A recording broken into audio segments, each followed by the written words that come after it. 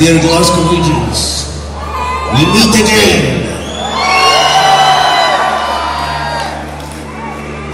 Now, meet the proud